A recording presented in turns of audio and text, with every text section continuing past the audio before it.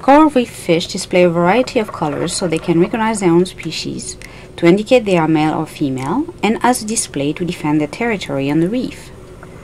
The lionfish displays vivid colors as a warning that it can give a venomous injection. Its message is danger, stay away. The emperor angelfish, juvenile and adult, are very different. While the adult has striking yellow lines, the juvenile is bright blue with white circle.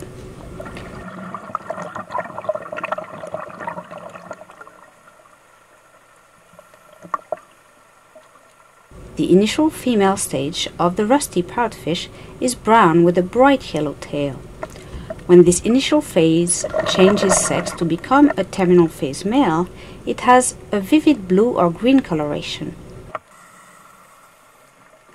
For the clownfish, however, it is the male that can turn into a female, but the two sexes have identical colorings.